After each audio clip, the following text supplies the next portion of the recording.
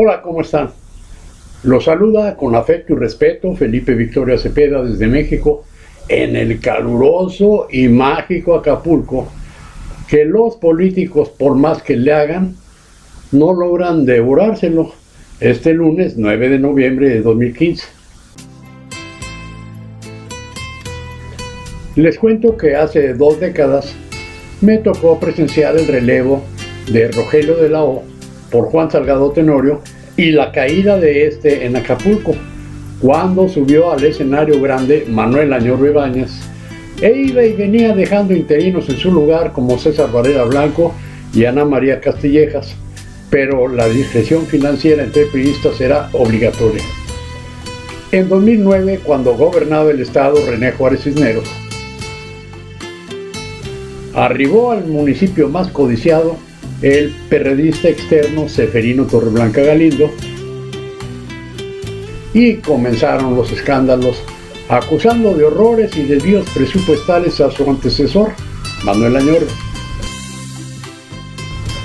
El PRD, como fuera, logró conservar la alcaldía en 2002 con Alberto López Rosas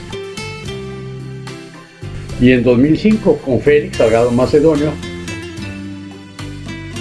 quienes, si acaso hubo faltantes, no hicieron ruido y chipón perrito en 2009 regresó a la alcaldía el priista Manuel Añor Rebaños y pese a lo que se esperaba, su relación con el ya entonces gobernador perredista Seferino Torres Blanca fue tersa y cordial. Dos veces dejó temporalmente la presidencia municipal, encargándosela a José Luis Ávila y a Verónica Escobar. En octubre de 2012, tras cuatro campañas intentándolo, se hizo de la alcaldía el figurón de Convergencia y Movimiento Ciudadano Luis Walton Aburto, que lo primero que hizo fue írsele a la yugular a Manuel Añorbe, alegando faltantes por unos 2.400 millones de pesos. Gran escandalera, pero como en el corrido norteño, del dinero y de Camelia nunca más se supo nada. La gestión de Luis Walton Aburto no fue fácil por haber recibido quebrado el municipio y dejó la alcaldía los últimos meses en manos del abogado Luis Uruñuela Fey. Mientras compitió por la gubernatura, más que contra el priista Héctor Antonio Astudillo Flores, contra la mujer periodista Beatriz Mojica Morga, que no quiso hacer coalición con Walton y entonces a ninguno de los dos les alcanzaron los votos. Por eso el PRI regresó triunfal al poder en Guerrero este pasado 27 de octubre. ¿Cómo fue? ¿Quién sabe? Pero el PRD montó en la presidencia municipal porteña al inquieto y brioso Evodio Velázquez Aguirre,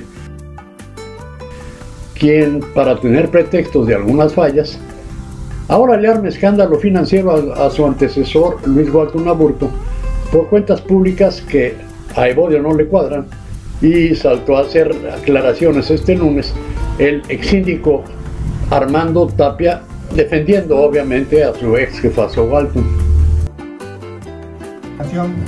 El presidente municipal de Acapulco, Evodio Velázquez, miente cuando dice que la deuda que reportó el licenciado Luis Walton Aburto fue de 1.500 millones. Eso es absolutamente falso. Al recibir la administración, el licenciado Luis Walton Aburto informó que la deuda que heredaba era de 2.142.8 millones de pesos. Lo que el licenciado Luis Walton Aburto informó fue que la quiebra de Acapulco se distribuía de la siguiente manera adeudos diversos, 1.170.2 millones de pesos. Déficit gasto operativo, 311 millones de pesos. Laudos firmes por ejecutar, 270 millones de pesos. Deuda de Capama y DIF, 391.6 millones de pesos. Dando un total de 2.000 142.8 millones de pesos. Eso ustedes saben que quedó igualmente consignado en los medios impresos y electrónicos. La conferencia se dio en Ciudad de México a nivel nacional y entre ellos el periódico El Novedades lo consignó con mucha claridad en su momento cuando fuimos a dar esa conferencia de prensa a la Ciudad de México. Debe estar por aquí la imagen exactamente de martes 13 de noviembre de 2012, en donde ahí queda claramente consignado por el, el medio impreso de Novedades. Comienza entonces la guerrita de lenguazos. Es importante subrayar que la administración anterior redujo la nómina de 8.168 trabajadores que había cuando nosotros ingresamos a 7.213 que se dejaron, lo que representa una reducción de cerca de mil trabajadores menos en el ayuntamiento. Así también redujo el gasto en el pago de la lista de raya de 16 millones de pesos mensuales a 7 millones 91 mil 58 pesos.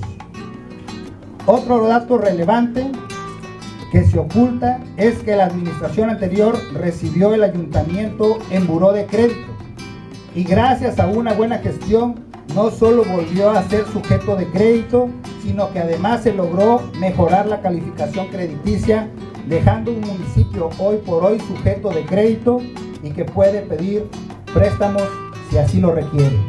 Finalmente, compañeros y compañeras de los medios de comunicación, queda claro que Bodio Velázquez no le salen las cuentas por mentir en las cifras, por inflar las cifras y por no entender las cifras.